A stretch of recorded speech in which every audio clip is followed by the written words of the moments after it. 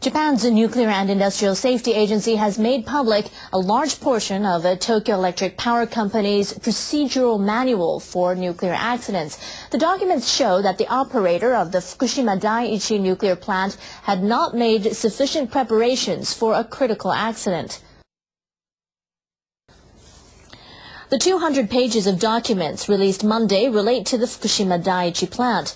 The March 11th tsunami took out almost all electricity sources for the plant's reactors, flooding the batteries and power supply boards. The documents reveal that TEPCO did not prepare for such a power failure or any kind of prolonged power loss.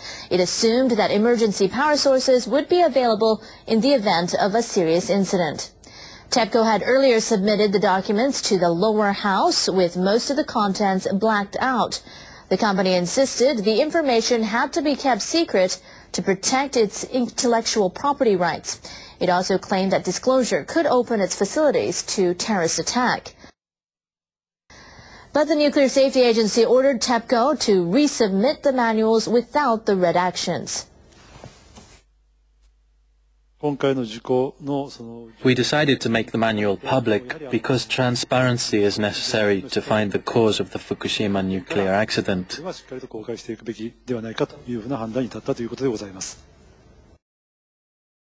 Still in Japan, a panel of experts has stressed the need for nuclear power plants to have multiple power sources to ensure a supply of electricity in emergencies.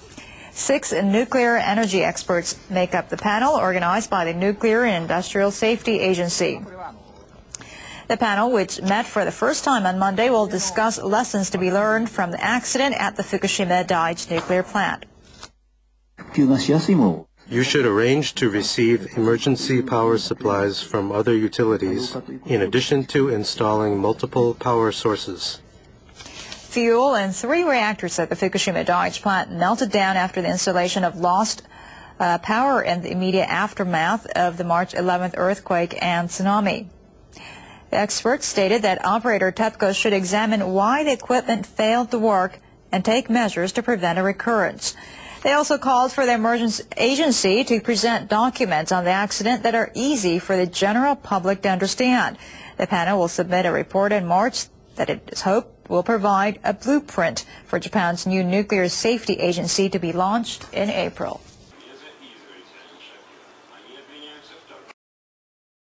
Some news here in Japan. Well, debate is heating up on whether this country should participate in talks on the TPP free trade deal that will take place in early November as part of an APEC meeting. Both those opposed to the deal and supporters presented their case on the government on Monday. Many in the agricultural sector are opposed to participation on the grounds that the Trans-Pacific Partnership deal could damage Japanese farmers. The leader of the Central Union of Agricultural Cooperatives, Akira Banzai, expressed his group's opposition in a meeting with Chief Cabinet Secretary Osamu Fujimura. Banzai said the union collected nearly 12 million signatures from people who oppose Japanese participation in the talks. He warned that the TPP will undermine Japan's agricultural sector and urged the government to refrain from taking part. Fujimura replied that the government is still canvassing opinion and will hear from various groups. Meanwhile, the head of the country's main business lobby pressed the government to join in the TPP negotiations. Japan Business Federation Chairman Hiromasa Yonekura told Foreign Minister Koichiro Genba that Japan needs to promote high-level economic cooperation with other countries. He said joining the TPP will not hurt the Japanese industry. Yonekura added that Japan has no time to waste. Participants in the talks aim to reach a general agreement at the Asia-Pacific Economic Cooperation Forum. For his part, Genba noted that details on the nature of any final deal will be available only to those taking part in the talks. He emphasized that the government will soon have to make a major decision.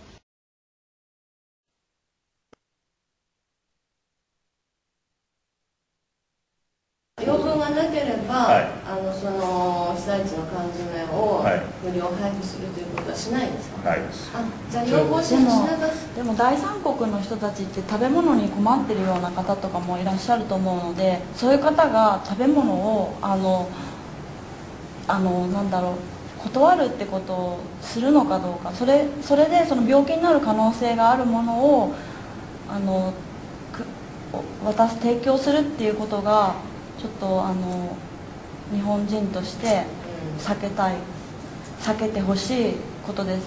えーと、国民の、まあ、毎日そうやって苦労しながらあの子供を育てている人々のあの税金によって思思思わぬ被害を海外の子供たちに与えてしまうかもしれないようなことっていうのは絶対にしてほしくないと思います。やっぱり困ってる子どもたちが食べるんですよねってる子どもたち貧しい子どもたちが食べるんですよ。何をですか？この真っ赤になったところで取れた魚。サンマ。ね。サバ。一番真っ赤なところにいる魚ですよ。それをさわざわざそういう子供に食べさせて日本のイメージが良くなると思いますか？僕は一番それが問題だと思いますよ。外務省にとっては。あのこの子たちはそれは知らないかもしれないでもこの子たちは知らなくたって国際社会は見てます。あんなところで取れた魚をいやもう減っちゃったよってことにみんな気が付きますよその辺はどう思いますか？そこはあのご要望がない国に対しては。いやご要望じゃなくて、だってお金がなければ食べるのが先でしょ Citizens groups and local governments in the Tokyo metropolitan area have been finding pockets of high radiation since the Fukushima nuclear accident. The Science Ministry has launched a telephone hotline to receive their radiation reports and advise them on decontamination.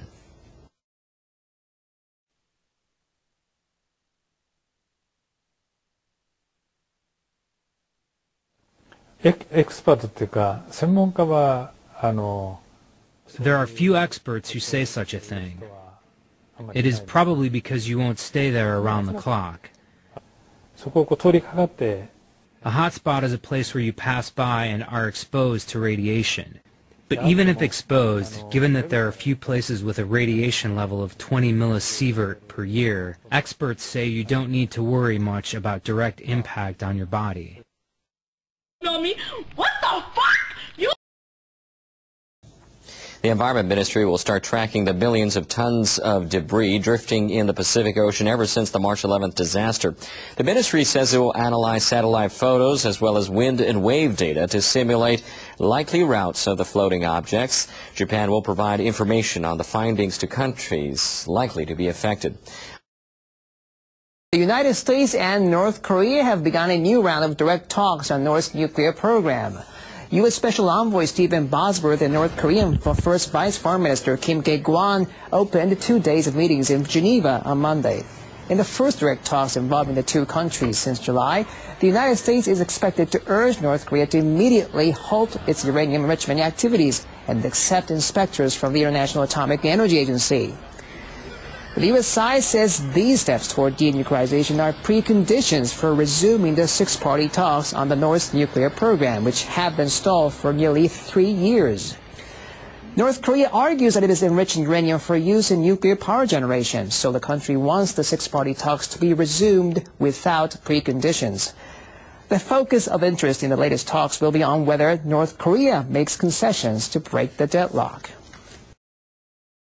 On the 11th of March 2011, an 8.9 magnitude earthquake struck off the coast of Japan's Honshu Island, triggering a devastating tsunami. Over 15,000 people lost their lives. This number could have been far higher had the disaster occurred in another country. Japan leads the world in earthquake preparation. Japanese engineers have spent decades perfecting techniques like shock absorbers and reinforced walls to minimize the damage of natural disasters. Japan's power plants have similar safeguards. The quake triggered automatic shutdowns for 11 of the country's nuclear reactors, including the Fukushima Daiichi power plant run by TEPCO, the Tokyo Electric Power Company. At first it seemed there might be a stroke of good luck. Of the six reactors at the plant, three were already shut down for maintenance. Yet the quake cut the power station from the national grid, and the tsunami damaged the emergency generators. As the Japanese government scrambled to protect the people of Fukushima, TEPCO officials stated that no meltdown had occurred, and they were working around the clock to minimize the damage. Not everyone believed them, and those skeptics turned out to be correct. Here's where it gets crazy. Nuclear power plant mishaps are usually rated on a scale of 1 to 7, with 1 being the least severe and 7 being something on the level of Chernobyl. Initially, the Fukushima disaster was rated a 4, and TEPCO officials claimed there was no meltdown. Yet according to reporters from The Independent, the meltdown was already occurring as TEPCO released this statement. The earthquake knocked out the plant's power and the tsunami washed out the backup generators soon after. Without a continual source of cooling, the waters surrounding the nuclear fuel rods began to boil away. The metal tubes holding uranium fuel pellets overheated and cracked. When the water reached the fuel pellets, it triggered a process called thermolysis. The water grew so hot that it broke down into hydrogen and oxygen. This volatile hydrogen gas needed to be vented, but venting too quickly caused an explosion on March 12th. By the 15th of March, two more explosions had occurred. If the water continued to boil away, then a meltdown was surely imminent.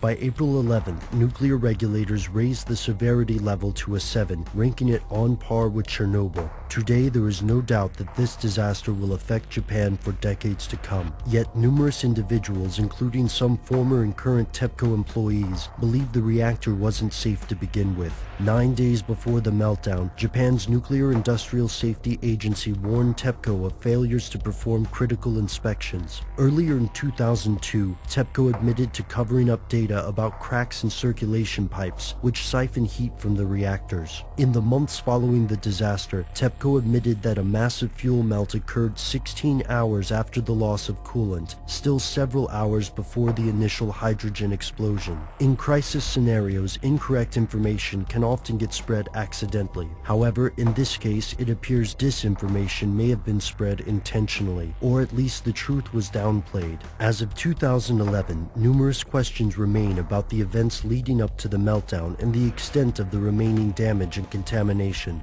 Will the public learn the answers to these questions? What is the extent of the damage to Fukushima? What does this disaster mean for similar nuclear power plants around the globe? For now, it appears these answers are something they don't want you to know.